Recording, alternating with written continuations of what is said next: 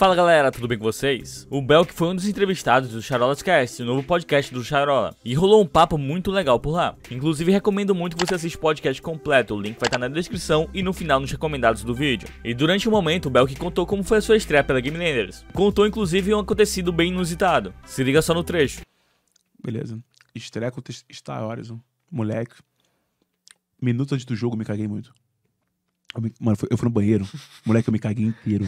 Moleque, eu me caguei muito. Ninguém sabe disso. Nunca contei isso. Nunca contei. O John foi no banheiro assim. Soltou logo o barro. Belcão, tá bem, Belcão? Falei, tô, tô, pô, tô tranquilo. Ó, daqui a pouco eu jogo, hein? Juro por Deus, moleque. Nossa, como eu cagava, velho. Mano, é igual água, parecia ralo, tá ligado? Juro por... Na moral, era, mano. Era, mano, era muito, muita merda. E aí... É real. Sinistro. E aí eu fui lá. Mano, caralho. Fui no banheiro. Mano, eu falei, não, beleza. Caralho, saí muito mais leve. Tipo assim, eu- mano, parecia que eu, mano, parecia que eu era magro dentro de mim. Sério mesmo. Moleque, sentei no mesmo computador, conversamos o time. O John, o John sempre motivou muito a gente, o John.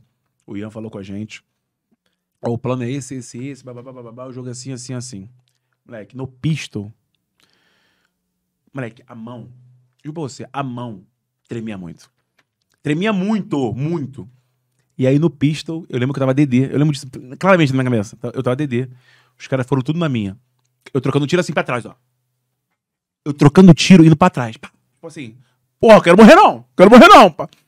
E aí eu falei, não. Aí quando eu recuei, eu lembro isso muito no meu cérebro, assim, porra, na, na, na, na, na- minha mente, porque foi uma parada muito bizarra.